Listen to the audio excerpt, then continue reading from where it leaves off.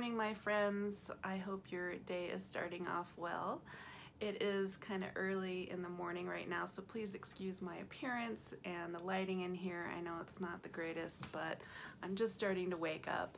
And I always start my day with some matcha, as you saw me making earlier there. And of course, matcha is green, and today is all about green foods.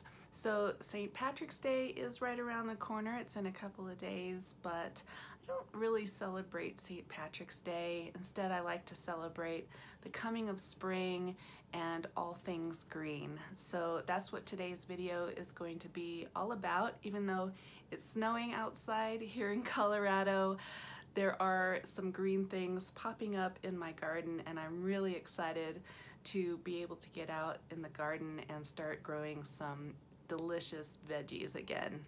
But like I said, today is going to be a full day of eating things green. So it's kind of a what I eat in a day, only a green version. Now, not every single food that I eat is going to be green, but for the most part, if you look at my meals, they will be quite green in color. So we're just gonna have a little fun with this today. And I'm going to drink my matcha right now and wake up then I'm gonna do some yoga and meditate and then I will make a green smoothie. So stay tuned for that and much more.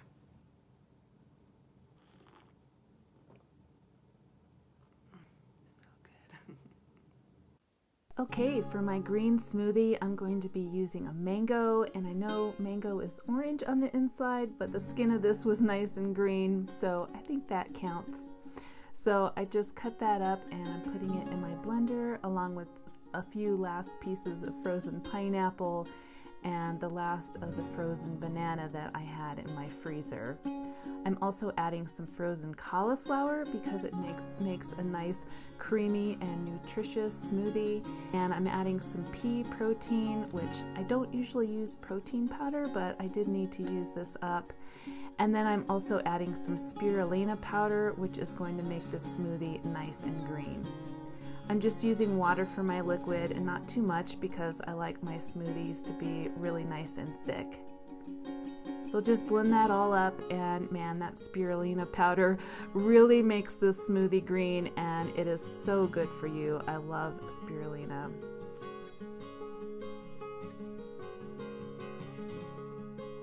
And then I'm just adding some homemade granola to the top to give it a little crunch and this granola is really good. I'm gonna have to put up that recipe really soon.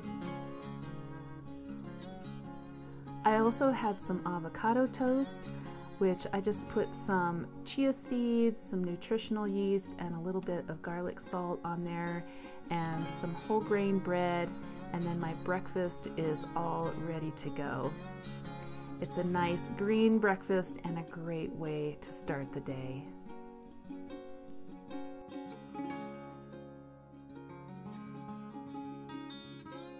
This is my dog Blue, and this is one of his typical positions.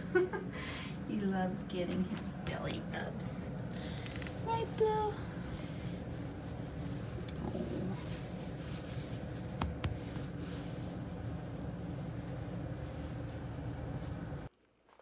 For lunch, I'm going to be making a beautiful green pasta.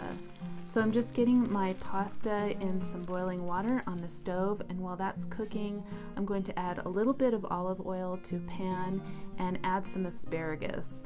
I had this asparagus in my fridge and it was about to go bad so I wanted to use it up and I did have to take quite a bit of the stems and even some of the tops off because they were getting yellow but I just composted those and had enough left for me and my son to have for our lunch.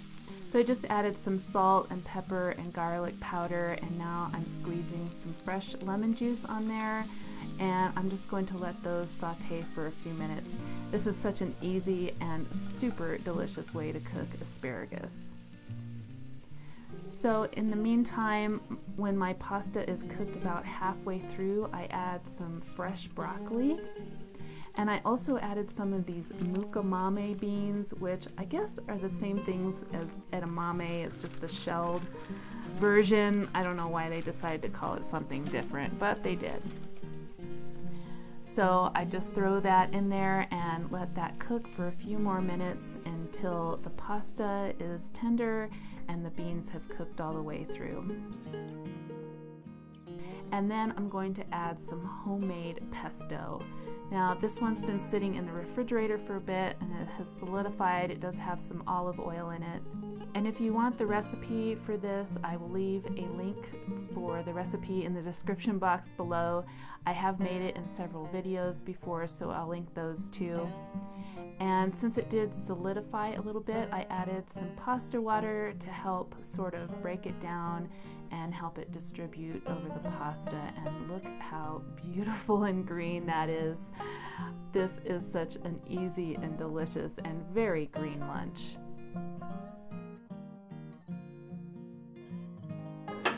So you can see my beautiful green plate um, for lunch. This was a super easy meal to put together. Um, it's one of my favorite really quick meals and my family loves it. And so there is my delicious green lunch. I'm gonna chow down. This is so good.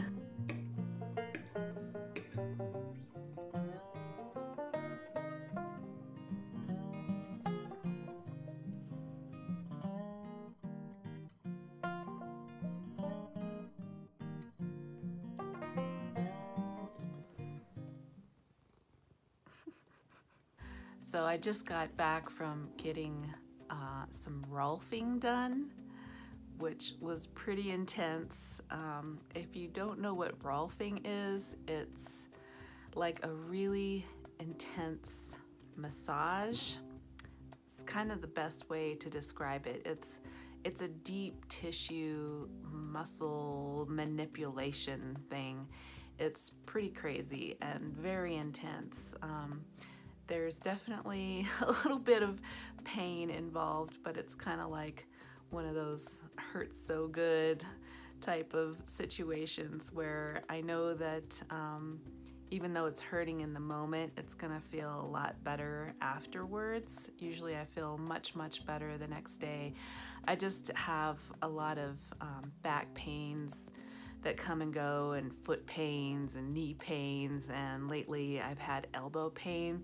I actually went to the doctor for that recently and they told me I had tennis elbow.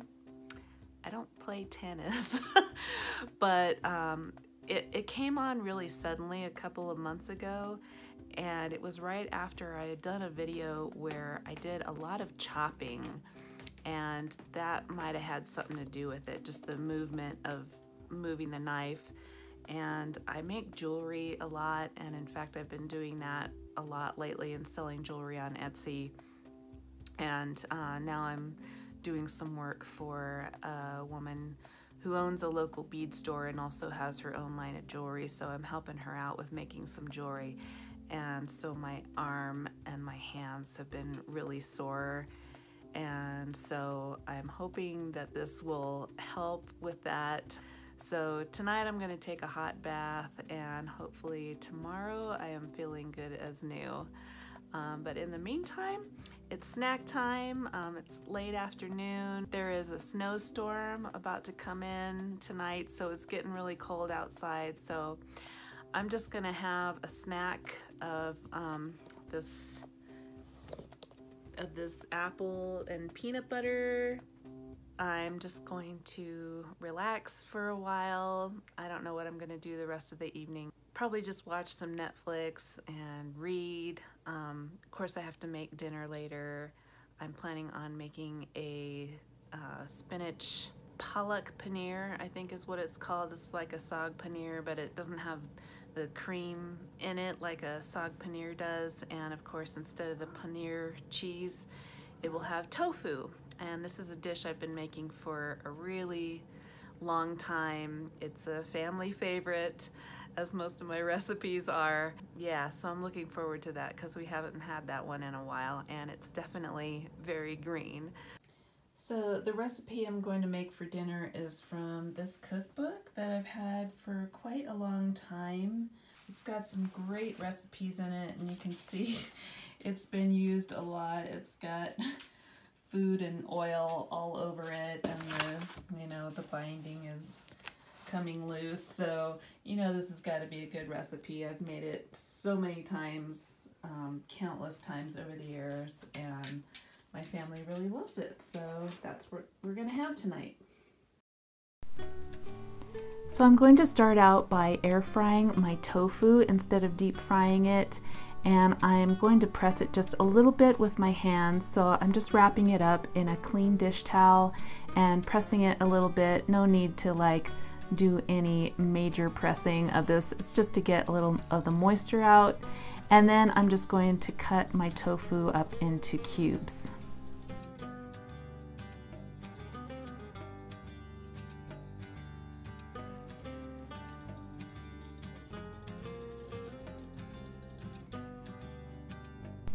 So once the tofu is all cubed, I'm just going to sprinkle it with some tamari and some garam masala powder. There is garam masala in the recipe and so I thought this would be a nice complementary thing to that and it actually turned out so good that I would just do this on a regular basis with some air fried tofu. It was so good. So I just put that in my air fryer and I kind of, you know, made sure it was distributed evenly and then I cooked that for about 10 minutes at 400 degrees. It comes out nice and crispy this way. Next, I'm going to grind some spinach into a paste. So I'm just filling up my food processor with lots of baby spinach and then just adding a little bit of water to help it break down. And then I'm just going to grind that until I have a nice paste. I know it doesn't look too appetizing right now, but I promise you it will be. Next, I'm cutting a really large yellow onion in half. I'm just going to use half of it. And you don't have to dice it up really finely. I'm just giving it a coarse chop and then the food processor will do the rest of the work for me. I'm also going to chop up some ginger into small pieces and I'm going to add all that to the food processor along with a can of tomatoes, a can of green chilies, some chili powder, salt, coriander powder, turmeric powder, ground cumin, then I'm just going to grind all that in the food processor until it is a nice sauce consistency. Then I'm adding some nice neutral tasting cooking oil to a pan and throwing in some cumin seeds and a generous pinch of asafoetida, asafoetida, I'm not sure how to pronounce that. But anyway, after cooking the spices for a minute or so, I add my sauce and then give that a good stir to incorporate all the spices in there. I'm gonna let that cook down for a few minutes and then add my spinach paste. And again, I will incorporate that really well and let it cook for several more minutes before finishing it off with the tofu. And it is already looking so green and delicious. I just love this dish. So then once that has cooked for a while, I add some garam masala powder and my air fried tofu and I'm going to just stir that in and then it's ready to eat. This does have a few steps with um, making all the different pastes, but it actually does come together really quickly and it is so delicious and my family really loves this dish. It's just full of green goodness and red goodness too. And those chunks of air fried tofu with the garam masala on them were so good. You should definitely try this recipe. I will leave the recipe in the description box below, or you can find it later on my blog at vegerarchy.com. I hope you liked this video and that you got some good ideas for some easy green recipes to make for you and your family. I really had fun making this video and eating green for a day and like I said, I'm so excited for spring. So I hope you're all bundled up and warm with your family or enjoying some great spring weather wherever you are.